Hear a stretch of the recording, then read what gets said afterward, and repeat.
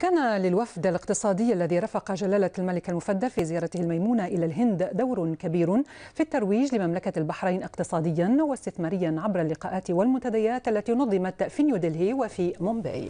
مجلس التنمية الاقتصادية كان له دور بارز في التعريف بالفرص الاستثمارية في البحرين اقتصاديا وتجاريا. وللحديث أكثر حول هذا الدور معنا عبر الهاتف السيدة فيفيان جمال مديرة تطوير الأعمال بمجلس التنمية الاقتصادية. سيدة فيفيان بداية مساء الخير وما هي أبرز الأنشطة الاقتصادية التي نظمها مجلس التنمية الاقتصادية خلال هذه الزيارة الهامة إلى جمهورية الهند؟ مساء الخير وشكرا لكم على الاستضافة. أهلا وسهلا. طبعا كانت الزيارة المتزامنة مع زيارة صاحب الجلالة الملك إلى الهند زيارة موفقة.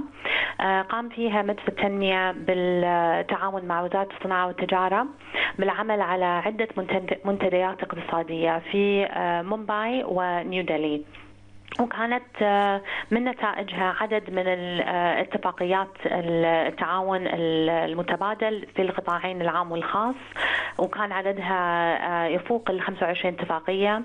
في مجالات متعددة فيما يعني في بعضها يخص ترويج الاستثمار والتكنولوجيا والتعاون في مجال تطوير الكوادر مع تمكين وتطوير الصناعات الصغيرة مع بنك البحرين للتنمية.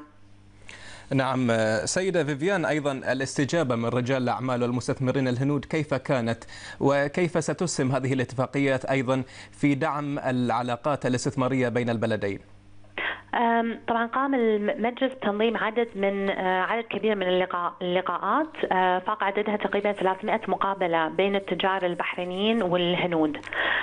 وقامت عدة شركات هندية بالإعلان عن خطتها لإقامة شركات في البحرين فيما بينها شركة كيمكو.